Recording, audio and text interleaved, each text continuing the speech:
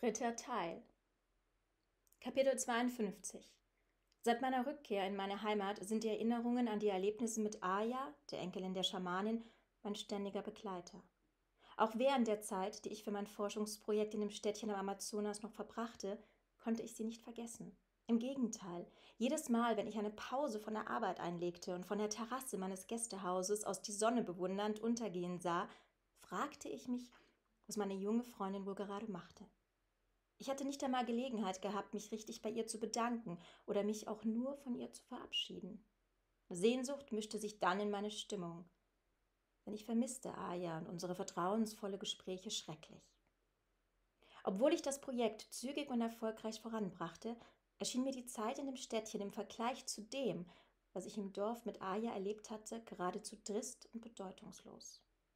Es verging kaum ein Tag, an dem ich nicht auf der Straße hoffte, sie unter den wenigen Passanten anzutreffen.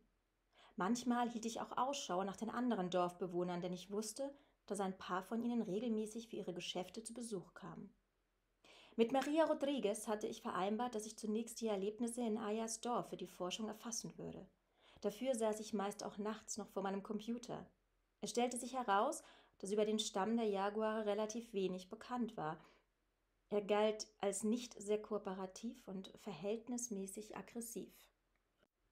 Ich notierte alle Details und Nuancen des schamanischen Rituals, beschrieb genau den König und dokumentierte die Vorgänge mit dem Tieropfer, hielt fest, welche Gesänge und Klänge zu hören gewesen waren, welche Empfindungen und Gefühle sie ausgelöst hatten. Auch protokollierte ich meinen Krankheitsverlauf und die Art und Weise der Therapie in dem Dorf. Vieles davon konnte ich zwar nicht benennen, aber der Leiter war dennoch von meinem Bericht angetan. All das half auch mir selbst, das Erlebte besser zu verarbeiten.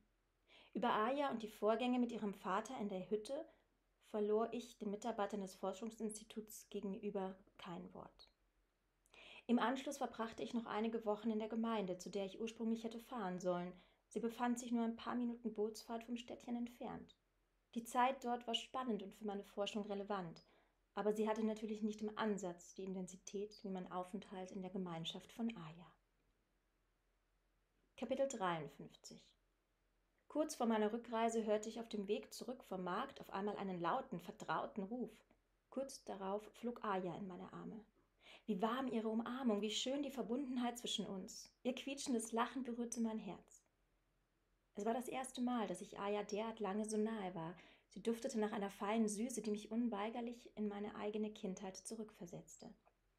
Für den Bruchteil einer Sekunde wünschte ich mir, noch einmal die Jugend vor mir zu haben, so unschuldig und voller Neugierde. Aya und ich unterhielten uns, als wollten wir die vergangene gemeinsame Zeit wieder aufleben lassen, als wollten wir uns gegenseitig für das stärken, was im Leben noch vor uns lag. Wir redeten, bis es schließlich zu dämmern anfing. Gerade als der Himmel dabei war, sich in ein buntes Farbenmeer zu färben, erschien die Schamanin. Sie stand in höflicher Distanz, ein paar Meter entfernt von uns. Aya musste aufbrechen. Kapitel 54 Ich nahm Ayas Hände und legte sie bedächtig und eindringlich zugleich auf mein Herz. Als ich eine erste Träne über ihre Wangen rollen sah, gab ich ihr einen langen Kuss in ihr tiefschwarzes, dichtes Haar. Erinnerst du dich, flüsterte ich ihr schließlich ins Ohr? Wenn wir lieben, öffnen wir das Herz für den anderen Menschen. Er findet darin ein Zuhause, selbst dann, wenn er an einem anderen Ort weilt. Denn Liebe ist grenzenlos. Sie ist ein Band, das zwei Seelen unsichtbar miteinander vereint. Diese Verbindung können wir spüren. Worte sind dann überflüssig, denn Herzen brauchen keine Worte, um zu kommunizieren. Obwohl ich bald in meine Heimat zurückkehren werde, heißt das nicht, dass ich dich verlasse, denn wir beide sind so viel mehr als das, was unser bloßes Auge zu sehen vermag. Aya weinte leise weiter.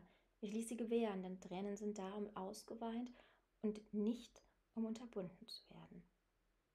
Meine Mutter meinte immerzu, dass unterdrückte Tränen wie ungeliebte Träume sind. Sie entwickeln ein ungesundes Eigenleben im Verborgenen. Kapitel 55 Dann drückte Aya mir plötzlich einen kleinen Stein in die Hand. Er hatte eine unregelmäßige Form und bestand aus unterschiedlichen Farbschattierungen aus mehreren Gesteinsschichten. Ich fühlte seine raue und unebene Oberfläche, nahm seine kraftvolle Energie wahr.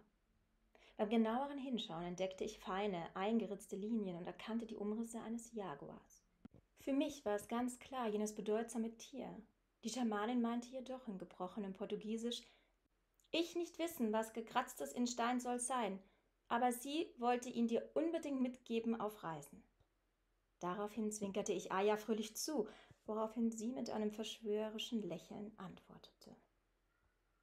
Kapitel 56 Diesen für mich besonderen Stein trage ich noch heute immer bei mir, gerade dann, wenn ich mit den Menschen, der Welt und vor allem mit mir selbst wieder einmal hadere, umfasse ich ihn besonders gern. Ich zeichne dann unmerklich für andere mit meinen Fingern die zarten Linien im Stein nach, kehre in mich. Manchmal glaube ich sogar zu spüren, wie der Stein warm wird. Dabei sehe ich zum Himmel hinauf, zur Sonne, dem Mond und den Sternen. Sie leuchten für uns alle gleich schön, Tag und Nacht, wo auch immer auf der Erde wir uns befinden mögen. Dann überkommt mich ein tiefes Gefühl der Dankbarkeit. Dabei lächle ich oft still und glücklich vor mich hin. Die Menschen um mich herum schauen mich dann nicht selten erstaunt an. Wahrscheinlich halten einige mich in diesem Moment sogar für verrückt.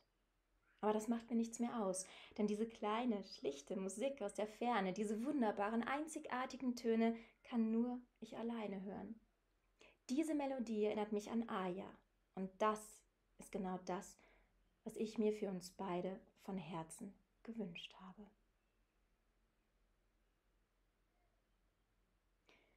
Nur wenige meiner Auslandsaufenthalte haben einen derart tiefen und bleibenden Eindruck hinterlassen wie meine Reise an den Amazonas. Ich konnte nicht anders, als auch diesen Teil meiner persönlichen Erlebnisse und Gedanken in die Erzählung mit einzuflechten. Der Rest ist frei erfunden. Zuletzt für dich.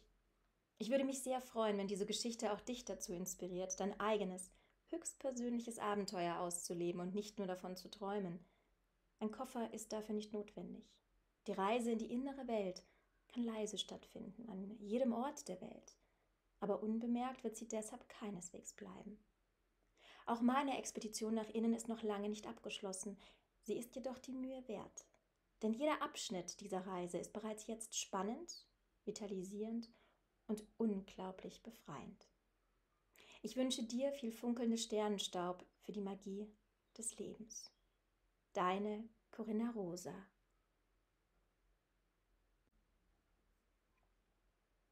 Zur Autorin Corinna Rosa Falkenberg, also ich, verliebt sich in Poesie, Abenteuer und grenzüberschreitende Erfahrungen mit Risikopotenzial. Ihr unbändiger Hunger nach Leben in all seinen Facetten beschert ihr ein Dasein als Künstlerin, promovierte Anwältin, internationale MA-Expertin sowie NGO-Gründerin im Bildungsbereich. Sie verweilt selten lang an einem Ort und bereist bereits 90 Länder, meist im Rucksackmodus. München, Paris und Bali sind ihre Rückzugsorte. Egal wo sie ist und was passiert, Bauchgefühl und Verstand werden synchronisiert, zumindest versuchsweise. Wenn es gelingt, geschehen kleine Wunder, wenn nicht, greift ihr Optimismus. Corinna Rosa Falkenberg ist bewusst, wie crazy das Leben ist, wie sehr sie in dieses verrückte Leben vernarrt ist und dass sie es in all seinem Reichtum erleben will. Crazy for Life leben.